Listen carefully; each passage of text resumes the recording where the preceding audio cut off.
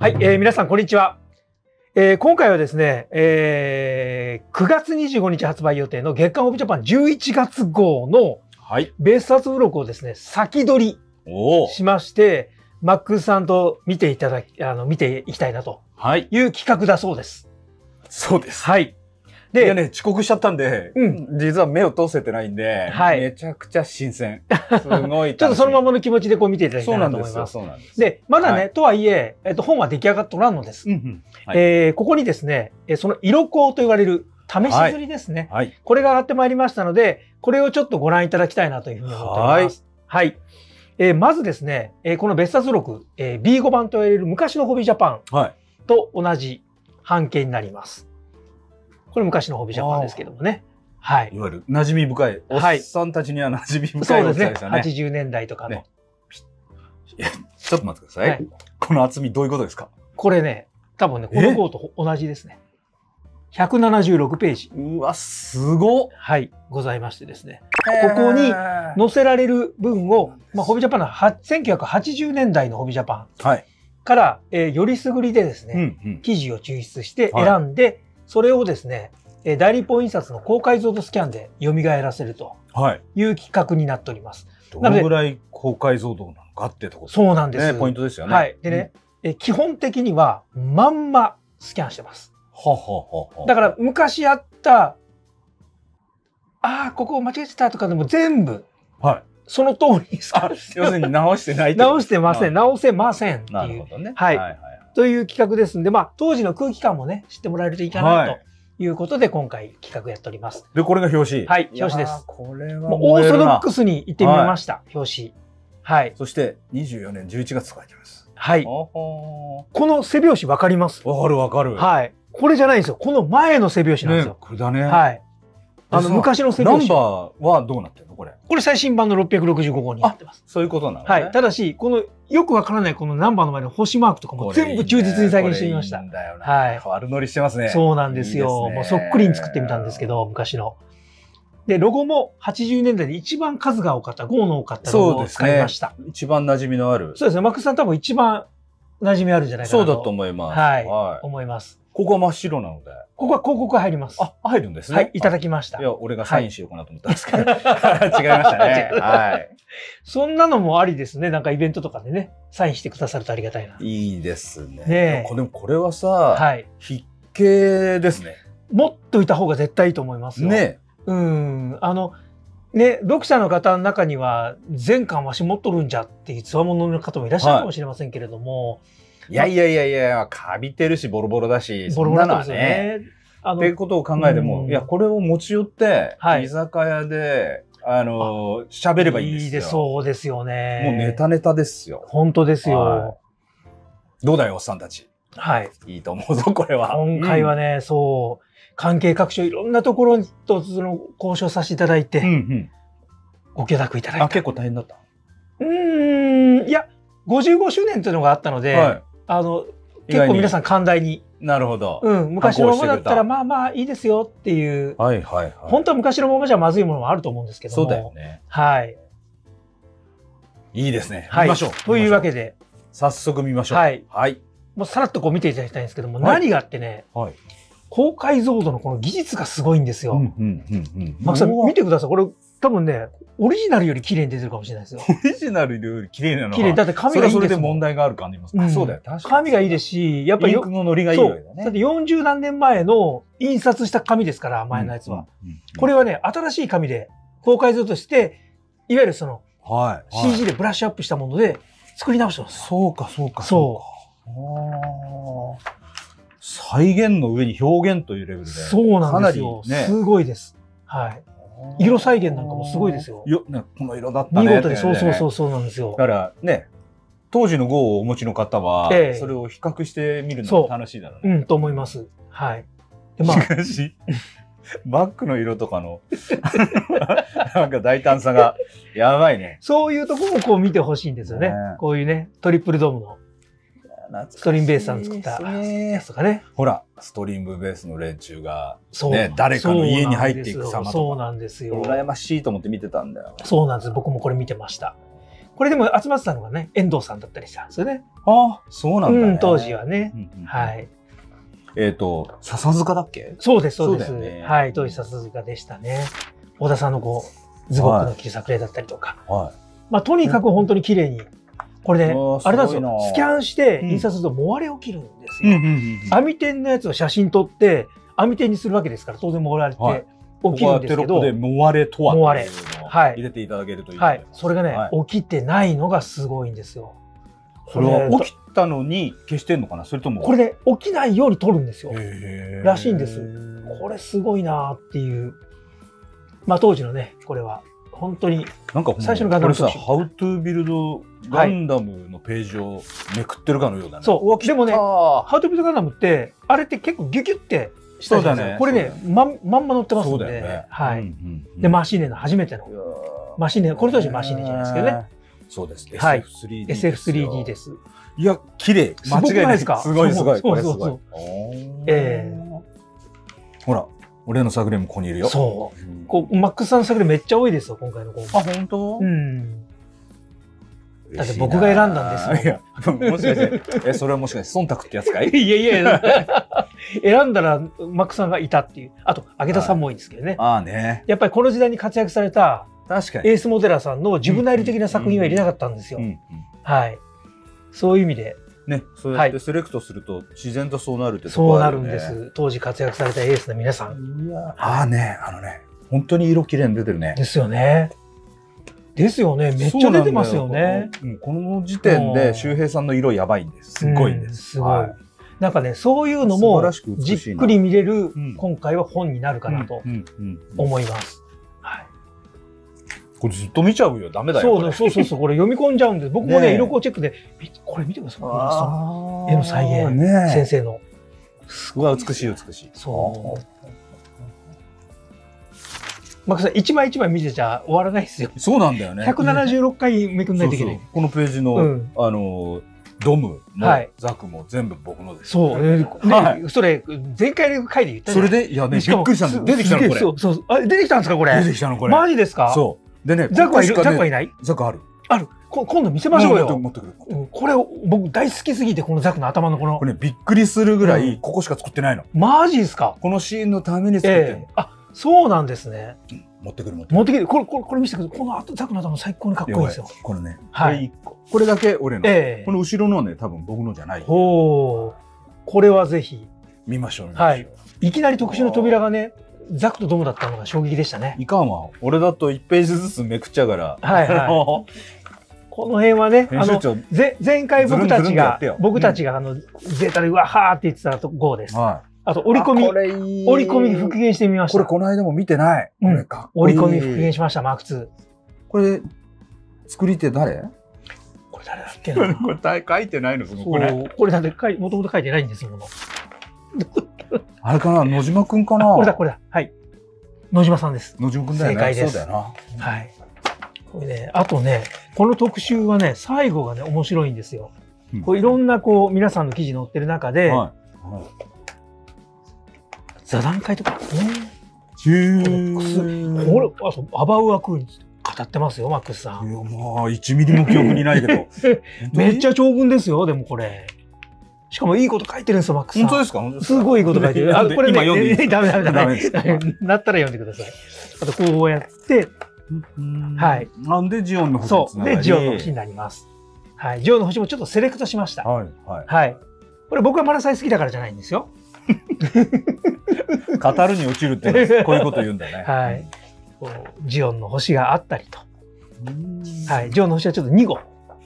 DJ と、はい。はい。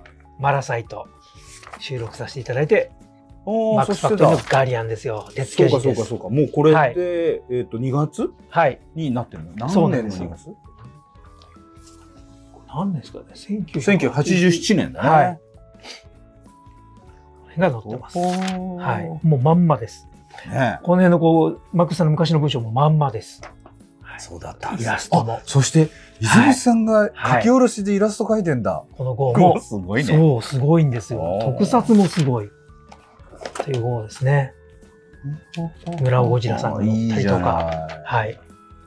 え、なんと、塩屋さんの書き下ろしも載ってる。すごいっすよね。オビジャパン、すごいっすね。80年代ね。本当にすごいメンツで。さっきから頭悪そうだよね、俺たち。すごいばっかり言ってんだよね。そうそうで、ブラスティです。はあなんかアニメ調に、はい。これ誰イラスト？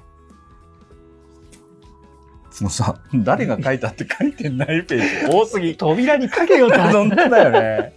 こらっていうね、書いてますよ。ああ、平野さんだ平野さんですね。はい。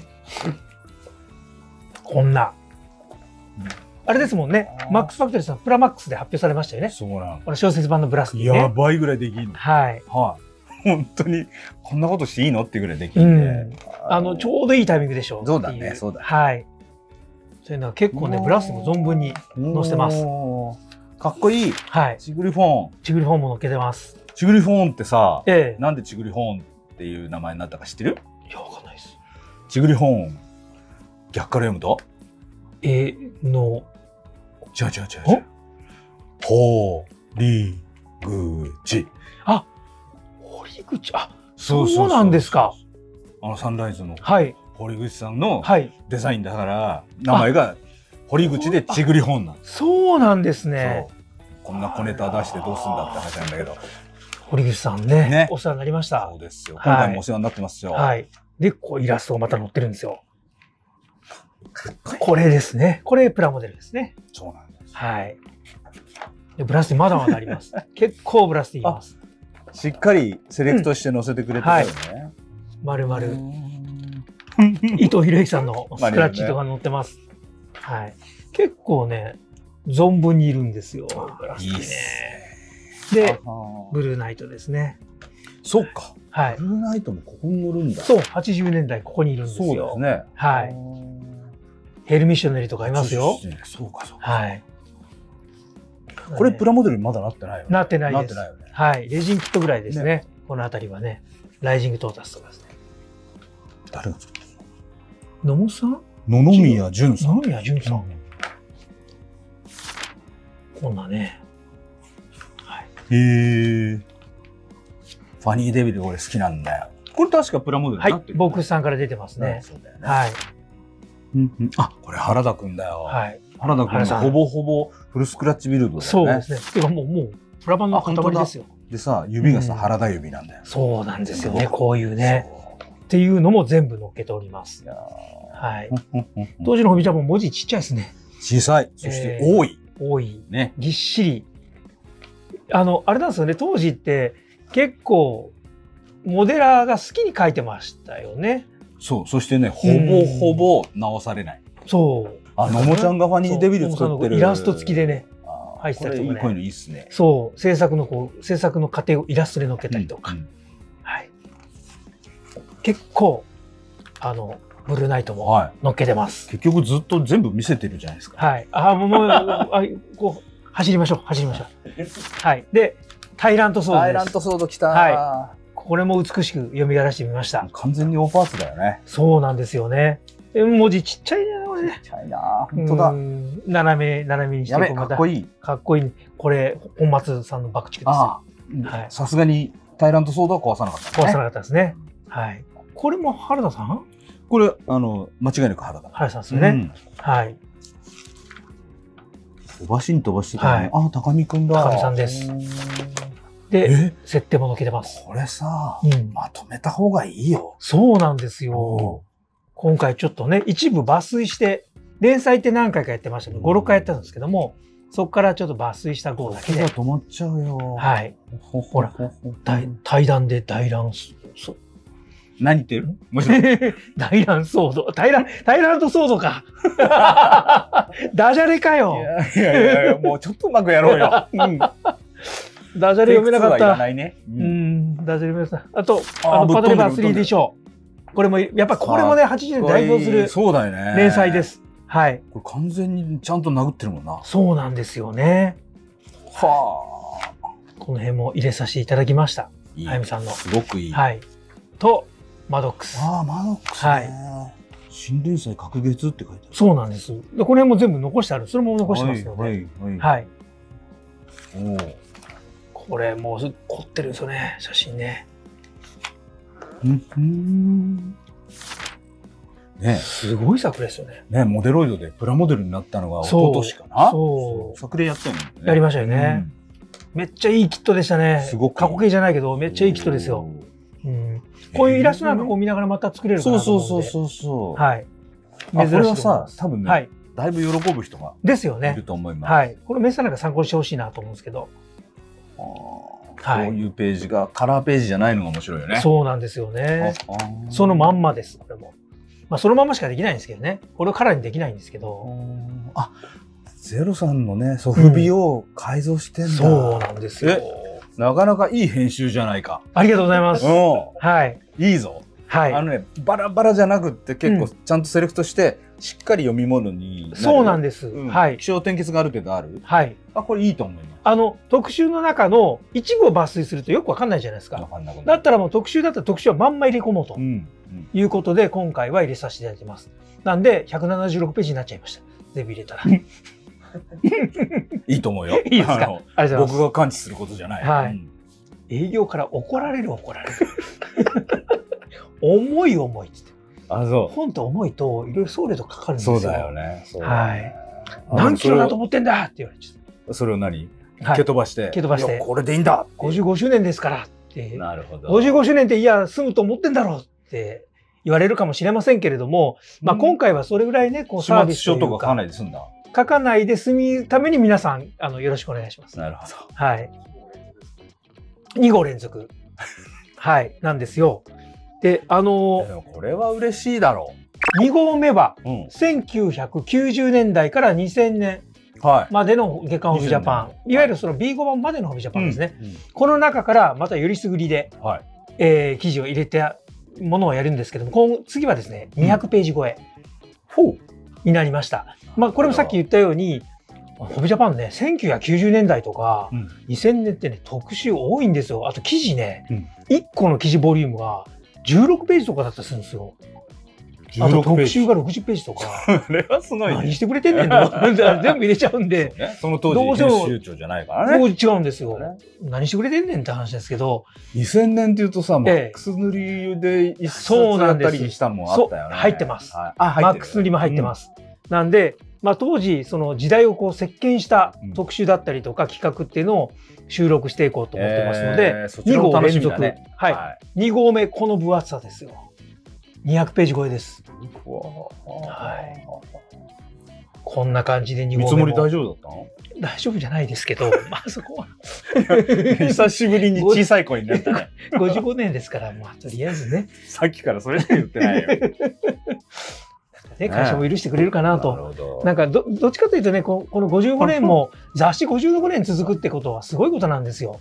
まあもちろんそうだ。出版業界でうん。50年以上雑誌が続くっていうのは実はあまりなことで、あー。えーこの業界すごいんですけど、うんうん。タシさんもね続けられてますけれども、これはやっぱり感謝だろうと。50年間買ってくださったりね55年間。なるほど。ってこともあるので今回感謝の思いを込めて、うん。あの50年続いた、要するにタイトルが変わらずに続いはい。た本って、いうか雑誌って調べてみるといいよ。そうもう本当ないんですよ。ね、ないと思う。んないと思う。まあモデルアーツさんとかね、ね、この業界はね長いんですよ。間違いない。なんだけど他はないんですよ。なるほど。うんあまり進歩してないってことかな。この業界？はい。いや違う。ファンがねみんな長いんですよ。違う。いや、全然褒めてねえし。みんな変わらずファンでいてくださってるのは、趣味として長く楽しめる趣味なんですよね。確かに。多分ねしかも、多う分、ん。2世代、3世代、はいってなってなかったら50年は無理だからね。そうなんですよね。そうか、普遍的なはい楽しみがはい。あると。はい。あと、多分、本というスタイルにうん。合ってるんだね。そううだと思います。ね。はい。なんでびっくりしました。はい。11月すごい楽しみす。です。はい。